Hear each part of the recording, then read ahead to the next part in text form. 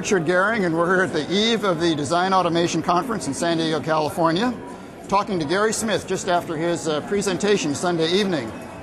And uh, Gary, there was a lot of talk in, in, the presentations here about software, about parallel programming, about multi-core. Yeah. Why are these topics so important to bring up at the Design Automation Conference? When I checked with my users, uh, which I do prior to any DAC, uh, I, I check to see what's the important topics and that's how I come up with what to see a DAC list.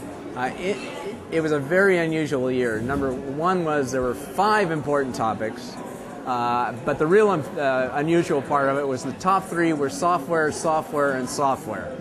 the, the, the main concern was um, homogeneous software. Uh, as you know, we're at four, uh, four microprocessors today uh, as far as the AMD and Intel are concerned. Uh, except for embarrassingly parallel programs, uh, Amdahl's law pretty much says you're not going any further than four.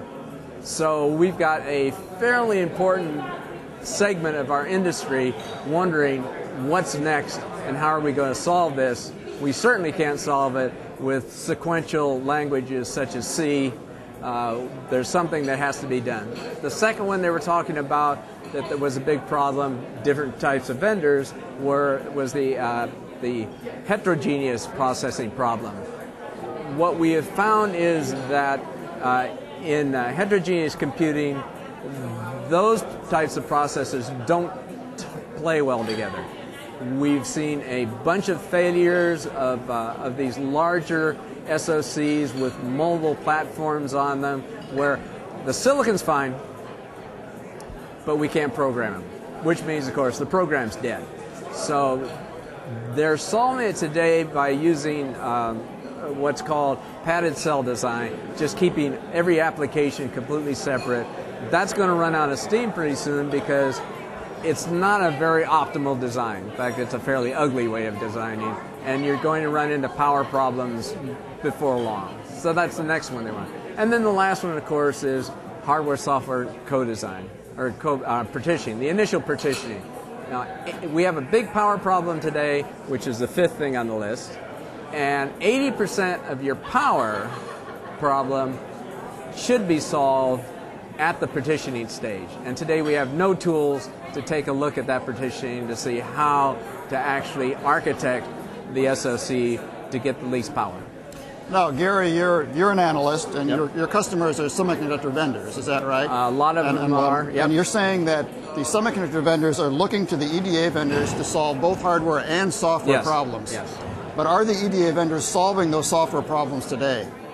Uh, no. Okay. There's uh, the only one, and that one of the sad parts of, of, what's going on at DAC today is that the only one on that list is Imperas mm-hmm. that is addressing the problem.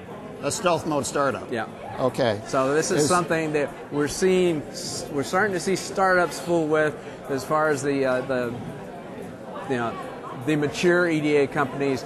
They're really fairly clueless about, with excepting Mentor, mm-hmm. about uh, embedded. Uh, processing. Do you think they will step up to the plate and start addressing this problem? Uh, the ones that are going to survive will have to.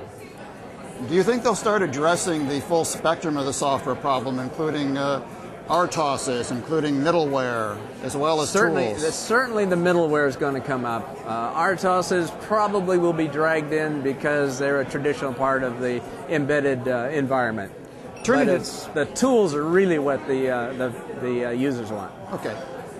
Turning to this year's DAC, Gary, yep. do you see any kind of overwhelming theme or message coming up? I, I think what we're seeing today at this DAC is a group of new startups that are really starting to use parallel processing, develop tools for these 65, 45 nanometer. Now, the designs are over 100 million gates. That's pretty exciting. We're starting to see uh, startups that are playing with uh, the, the true intelligent test bench rather than just bundling a bunch of tools together. So, so some of these some of these breakthrough ideas that we've been discussing for a while now, we're starting to see startups address them. So uh, that's what makes this to be a very exciting DAC for me. Okay, and you've got this what to see at DAC 2007 list. Yep. Any any startups on here that have particularly caught your eye? Well, of course, I already mentioned Imperas. The ones that are doing the intelligent test bench, like Breker, uh, da, da, da, da, da, da, Axiom, uh, uh, Certess, and uh, Nusym uh, are looking very good. Okay.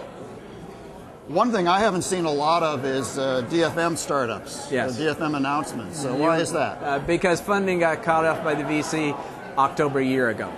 Okay. So there's really been no funding that's been out there. I mean, basically, they saw somewhere around 26 new startups going after a market that was uh, initially touted as a, well, actually, one company said it was a $6 billion market. Little hard to believe when EDA is only 4 billion. But certainly it was touted as a, uh, as a billion dollar opportunity. It isn't a billion dollar opportunity. Uh, the VCs finally figured that out. They were overexposed in the market, and they really stopped. Uh, there, they are they are continuing funding of the ones that are gaining traction, but you know if you've got a new DFM idea, probably to get it funded is uh, is pretty low. Yeah. One, one last thing. Why aren't there more ESL startups? Uh, there are a lot of them. There are actually quite a few. The idea, what we're trying to do is what DATE's been able to do is get them to come to DAC. Ah, okay. because DATE now has, as of this year, is really recognized as, as covering the full spectrum of systems design, hardware and software. That's where DAC uh, has to be in the relatively near future. And today we're still looked at as primarily a hardware show. All right. Well, very good. And thank you for watching EE Times TV. Thanks.